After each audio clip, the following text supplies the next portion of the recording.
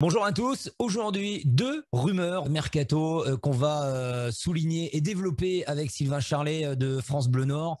Sylvain, première première info, c'est Loïc Badet apparemment. Donc Rennes est très très intéressé par Loïc Badet. Info ou intox?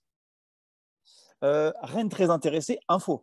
Rennes a un intérêt concret ça a fait beaucoup sourire les gens sur les réseaux, ce, terme, cette expression, un intérêt concret pour le, pour le joueur. Oui, oui, c'est clair. Euh, ça fait réfléchir beaucoup de monde. Euh, le Racing Club de Lens se pose des questions, à savoir quelle stratégie aborder par rapport au joueur. L'entourage du joueur se pose des questions. Le joueur se pose aussi la question de son évolution personnelle. pour l'instant, voilà, chacun réfléchit un petit peu de son côté. Il n'y a rien de concret pour l'instant, même s'il y a un intérêt concret de Rennes. On nous parle de 13 millions d'euros, mais euh, Certains aimeraient quand même que ça aille un peu plus haut. On se dit, allez, 20, 25, quand même, Loïc Badet, c'est comme un joueur en devenir. Donc voilà, il y a, un, vrai, il y a un vrai sujet central aujourd'hui autour de Loïc Badet. Alors, on a eu euh, quelques messages euh, de Twitter euh, de supporters concernant cette, cette info, cette rumeur. Johan, vraiment aucun intérêt de partir pour Rennes. Lyon ou Monaco, à la limite, oui, mais Rennes, c'est pas sérieux. Il va s'ennuyer là-bas. Qu'est-ce que tu en penses, toi?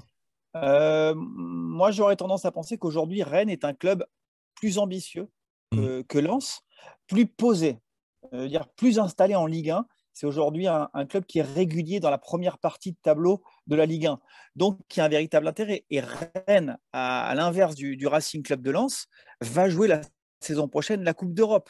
On ne sait pas ce que sera la prochaine saison du Racing Club de Lens. L'élément important, c'est de disputer une saison à Bollard avec 40 000 supporters. Est-ce que ça va peser dans la balance au moment où Loïc Badet, son entourage et le club vont se décider, ça on verra. Mais aujourd'hui, aller à Rennes, en termes de choix sportifs, c'est cohérent, selon moi. Après, ce n'est que mon avis, pas forcément la, science infuse. On a euh, Baka le Lançois qui écrit s'il part à 13 millions, on se prend une douille, même mmh, s'il est arrivé pour 0 euros. Et puis euh, Antoine qui fait surtout que tu as 20% à reverser au Havre. Hein. C'est ça, hein, c'est bel et bien 20% alors ça, ce chiffre-là, je n'ai pas la confirmation. Je suis un peu comme toi et un peu comme tout le monde. J'ai vu ce chiffre passer sur les réseaux.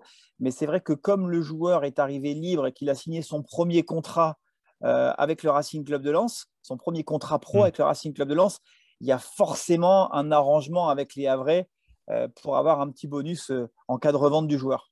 Et puis avant de passer à la deuxième euh, rumeur euh, de cette journée, euh, on a Actu sans et or. J'aime bien ce petit message. On va terminer cette info sur Loïc Badet avec une petite note d'humour. Moi, j'ai un très fort intérêt pour Emma ah. Watson. Trois tacos, ça suffit ou pas? J'adore. Bon, deuxième info, Sylvain, ça concerne le, jeune espoir, la, pépite de Valenciennes, Doucouré. Ouais, ouais, alors c'est un jeune joueur que l'on a vraiment découvert cette saison, Ismaël Doucouré. Il n'a que 17 ans.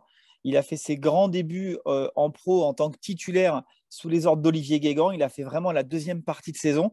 Il va avoir 18 ans là, cet été, là, au courant du mois de juillet. Il est international dans les équipes de France euh, jeunes. Donc, c'est un joueur qui est très, très demandé. Et euh, forcément, Lens est intéressé par, ce joueur. Mais voilà, il y a une forte concurrence. Et j'ai échangé rapidement par message avec le président de, Valenciennes. Et forcément, euh, voilà, lui, il m'a dit que ce n'était aujourd'hui qu'à l'état d'une rumeur. Et Diaz hein, le, président du VAFC. Donc voilà, je pense que ça, ce sera aussi l'un des feuilletons de l'été. Mais prendre ce joueur, ce serait quand même une très, très belle prise, sachant qu'il faudra quand même l'entourer avec des joueurs d'expérience. Et ça, ce sera aussi l'une des clés du recrutement notamment défensif du Racing Club de Lens. C'est ce que pense également tiens, le, supporter Jean sur Twitter. Il fait c'est très fort. Hein. C'est un futur grand après une place de titu en, Ligue 1. Aujourd'hui, je ne sais pas, mais il a un très gros niveau en L2 déjà. Et puis euh, David nous écrit c'est l'un des meilleurs espoirs euh, à son poste en France. S'il vient, ce sera un très gros coup pour le Racing Club de Lens. Merci Sylvain.